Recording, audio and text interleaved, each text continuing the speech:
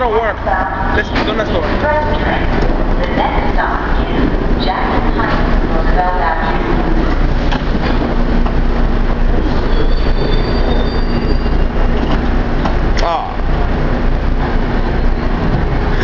The door locked?